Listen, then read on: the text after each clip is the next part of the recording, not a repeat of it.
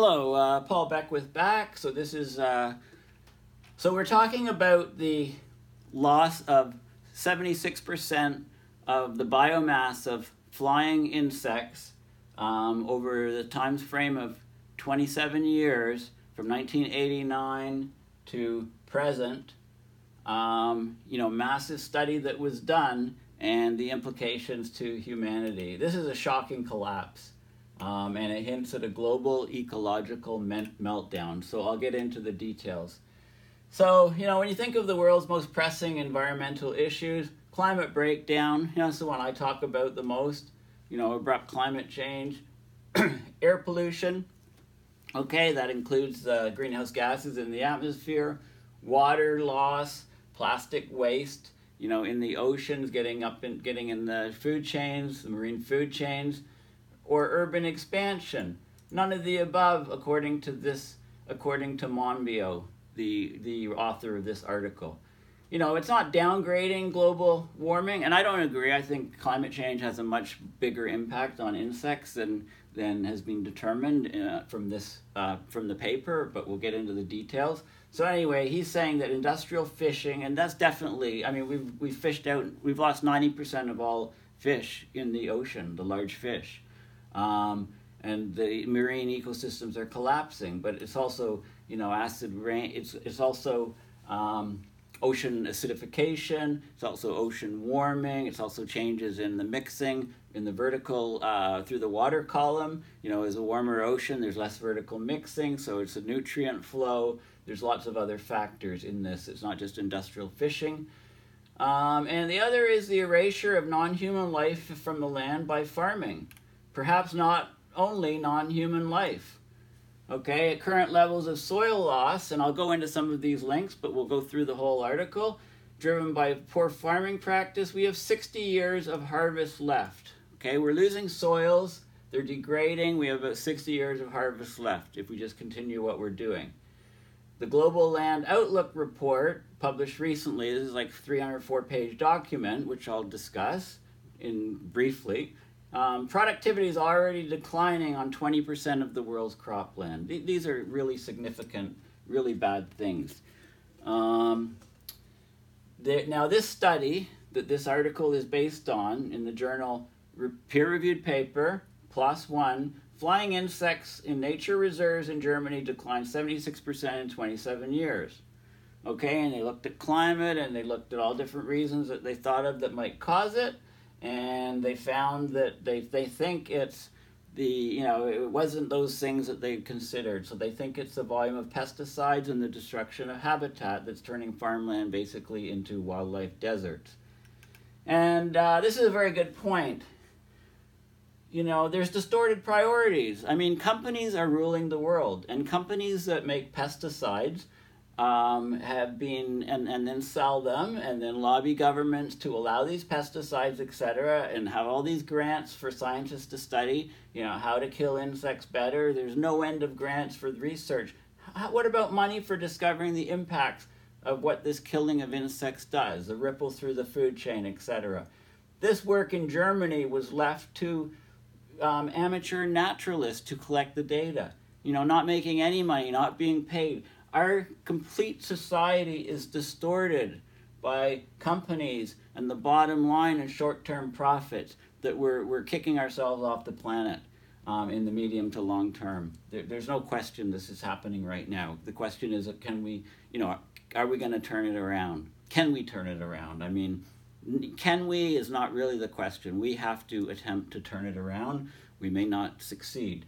Um, you know, I remember driving. I, I, you know, years ago, I worked for a laser, a laser company, Lumonics, in Ottawa, and uh, you know, I'm from Oakville, which is near Toronto, and it's about a four and a half, five hour drive. And I used to make the trip. My dad was very sick. He had lung cancer. He was a smoker. He had a lung removed. Um, and during his recovery, you know, he last he, he lived for about five years after the surgery. But you know, he was very sick as he was going through this. I was working in Ottawa, and I drive to, I drive to Oakville. You know, the five-hour drive, and my car would be covered with bugs. Like I'd have to, I'd have to wash the car after every car trip. um, and I drove mostly at night. And bugs and on the headlights, on the windshield, on the whole car. You know, air filters had to be changed. You know, the bugs were out there. And now you make that trip at night, and there's absolutely nothing on your car. You know, obviously the bugs aren't there anymore, anywhere near the numbers that they were before just anecdotally. And and Monbiot talks about collecting caterpillars, and he couldn't even find any this year. And you know the moss snowstorm, moss flying in the headlight beams. Um, so you know, but does it matter? Do we care about insects? Well, they're critical to survival of the rest of the living world. They're critical. There's nothing surprising. Uh, you know, birds. It, birds that eat insects are collapsing. Okay, Bees, the okay, the bees and hoverflies and many species of insects, they're the pollinators. You know, 80% of the wild plants uh, require insects for pollination. Uh, both wild plants and cultivated plants. You can't grow plants without pollination.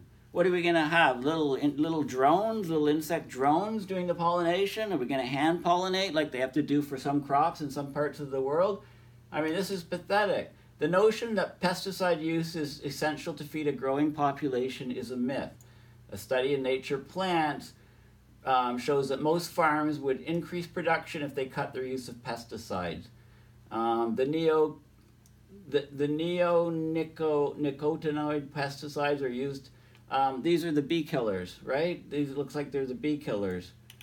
Okay, the pesticide industry, the global pesticide industry has essentially conned farmers and governments, you know, and I couldn't put it in a better way. The regulation of these products is not proper. I mean, we regulate pharmaceuticals, but we don't regulate uh, to the same extent the uh, chemicals, the hundreds of chemicals that, that kill um, insects. And look at the look at the hand sanitizers that you get now, the antibacterial hand sanitizers. I mean, do they undergo rigorous studies? What about when the you know they take out the bacteria, right? The bacteria. We need bacteria in soils. We need bacteria in, in the air. We need bacteria. It's part of a healthy ecosystem. Um, and yet these things are all you know these products are just driven by profits by companies. And there's no collective intelligence in deploying these products and there's no thought to the long-term effect or even mid-term or short-term effect of the ecosystem. Shareholders are first or everything and this is going to bring us down. It's, it's already happening very quickly. So he's saying we need a global treaty to regulate pesticides we need environmental impact assessments for farming and fishing industries these are the greatest sectors, according to him, on the living world, even more than climate change. Um, and there's very little oversight. Um, tragedy of the commons. You know, we need to actually use the data from these assessments, use the results to restore and protect ecosystems, reduce the amount of land used by farming, reducing the use of livestock. So, a study in Britain says, you know, if you got rid of stopped using animal products, everybody in Britain could be fed on just 3 million of the 18.5 million hectares of current farmland, or 7 million if all the farming was organic. So there you go. You know, stop using land that should be growing food for people to grow, you know, biofuel products, fuels for, you know, plants and maize, etc., for biogas and biofuels. Would you rather eat or would you rather drive your car? You know, we're going to electric, so so this is a, so this is a this is a this is the paper. Um, this is the article that is key. So, you know, in terms of the industrial fishing, okay, uh, you know, we get a concentrate. Usually, you know, in a corporate world with companies, you get companies they swallow the weak. You get fewer and fewer very very large companies, and they get so much power. They lobby the government you know they have a free reign to do what they want to do. They write the, the laws that governments then put into their policies. I mean talk about convoluted right? You know it's it's the idea of profit over over longevity on the planet. Um, so anyway prevent overfishing right? Sustainable fishing and uh, you know 30 billion revenue of these fishing companies a third of the top 100, right? So we always get this concentration of wealth, whether it be in companies, whether it be in the 1% or the 0.1%. Um, half of the world's fish catch is thought to involve black or illegal fishing, where vehicles trespass, use illegal gear, gear etc. And then we have these fish farms. Now, the fish farms are invariably in shallow water, and the fish poop and all the toxins and stuff, um, chemicals that are used on the fish, which is a monoculture, sink to the bottom.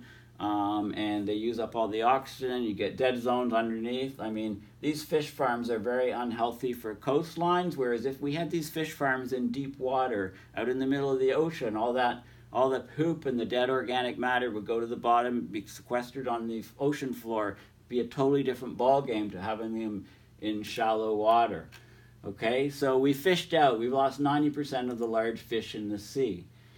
Now, changing your diet could save animals from extinction. These are all links in the in the Monbiot uh, in this paper in this article here by Monbiot. So I'm going through some of the links. So um, you know, as we what we do in the tropics is we burn farmland, and then we and then we have our cash crop, whether it be um, palm oil plantations or whether it be sugarcane or whatever product, you know, rice, whatever product we want to grow, you know, whatever product we want, plant we want to grow, whether it be for eating or a product.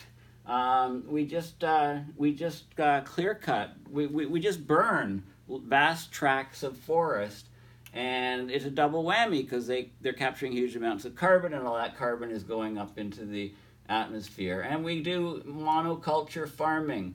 You know if you haven't read um, there's lots of good books coming uh, you know out there on permacultures on silviculture. Um, drawdown you know is a book I'm, I'm i was searching for the name.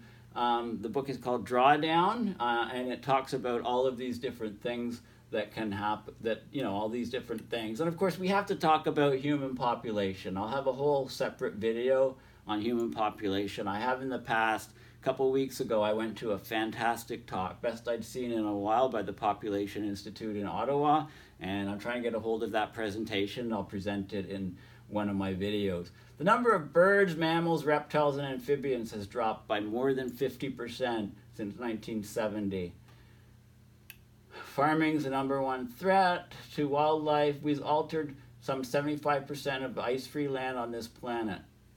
If we continue to grow our population, we have to double our crop production. And these are areas in, that are at risk. And large parts of Africa um, and South America, you know, huge amounts of, of species lost. And so this is species lost here, and this is a percentage loss here and we're just uh, we're just doing a number on the biodiversity on our planet. And what happens is uh, large countries are actually um, buying vast tracts of land in Africa and South America and uh, growing food there and then exporting it all. The locals don't get it. The locals grow it at slave labor rates, and the food's exported to the large countries. These are the top 10 countries at risk right, so this is, uh, you know, it talks about the conversion. You know, it takes 25 kilograms of grain to grow one kilogram of beef, right? Pigs have a ratio of 9 to 1, and chickens 3 to 1. So, chickens, if you're going to eat meat, chickens are the best way to go. Um, you know, beef, I mean, this is, this is a very inefficient system. Imagine throwing away 25 plates of perfectly good food to get one plate of beef. You know, that's essentially what we're doing. Um, and, you know, livestock causes 10 times more deforestation in the palm oil industry, but seems to get about 10 times less the media attention. So there you go. Okay, so the, the soils, okay? 60 years left before we run out of soils based on soil degradation, uh, degradation levels. Okay, um, so soil is a, the ground under our feet. The earth under our feet is vital. You can't grow food without it. You, upon this handful of soil, our survival depends. Husband it, and it will grow our food, our fuel, and our shelter, and surround us with beauty. Abuse it, and the soil will collapse and die, taking humanity with it. This is a, was from a Sanskrit text written about 1500 BC. Have we learned anything from that? Maybe not. Thank you.